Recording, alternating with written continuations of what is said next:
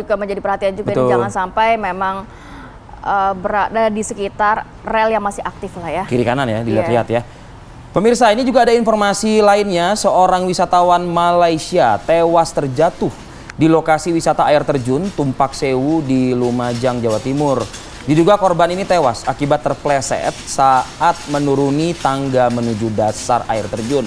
Jenazah Yosefin Tamsuk Min, 58 tahun, warga negara Malaysia, dibawa ke ruang pemulasaran jenazah Rumah Sakit Umum Dr. Haryoto Lumajang untuk proses identifikasi dan juga pemeriksaan medis. Polisi yang datang ke lokasi kejadian ini sempat ikut membantu dari proses evakuasi korban dari lokasi jatuh hingga Wih. ke puskesmas terdekat. Namun naas nyawa korban tidak bisa diselamatkan. Menurut pengelola wisata air terjun Tumpak Sewu, korban, ya betul Vi. Korban ini uh, tewas akibat terpleset dan juga jatuh saat menuruni tangga menuju ke dasar air terjun. Polisi telah menggelar olah tempat kejadian perkara yang ada di lokasi kejadian dan sebelumnya korban bersama lima rekannya asal negara Malaysia dan juga Singapura tengah menempuh perjalanan wisata ke air terjun Tumpak Sewu hingga akhirnya insiden ini terjadi.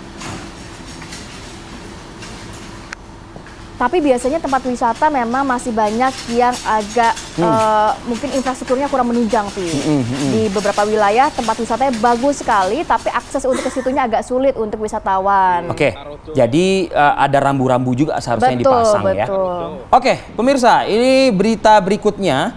Dua pelaku jambret di Kabupaten Pasuruan ini menjadi sasaran amuk massa. Kedua pelaku jambret dihakimi di depan kantor desa Wonokoyo, Kecamatan Beji, Kabupaten Pasuruan. Bahkan masa juga membakar sepeda motor milik pelaku di lapangan bola ya. Tidak untuk ditiru juga ya. Aksi main hakim sendiri seperti ini.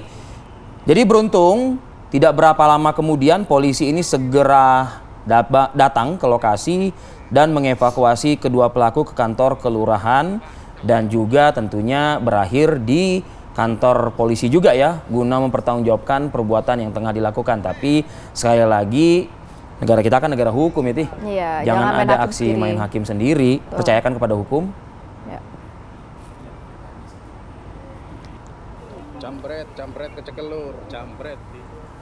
Oke, kita ke informasi selanjutnya pemirsa. Ini polisi telah memeriksa terlapor dalam kasus dugaan pelecehan yang bermodus staycation. Terlapor, terlapor, pelapor ya? Belum, ya. Ini di wilayah Bekasi, Jawa Barat dan kabarnya juga sudah ada uh, indikasi dua perusahaan ya kabarnya Vi yang hmm. terlibat.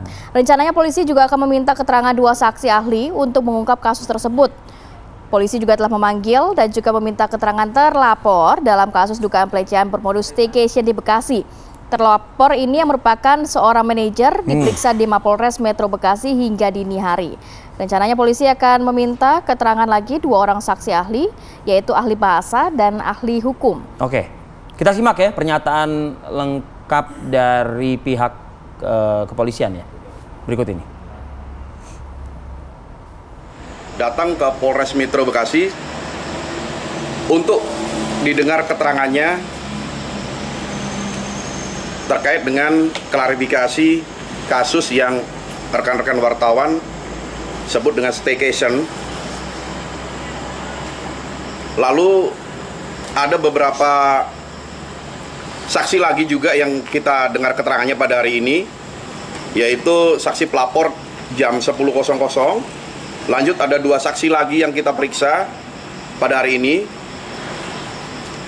untuk tindak lanjut setelah kasus ini, setelah kegiatan atau pemeriksaan hari ini, baik terhadap saksi, pelapor dan terlapor, kita tindak lanjut. Kemudian kita akan melakukan pemeriksaan atau pengambilan keterangan ahli, yaitu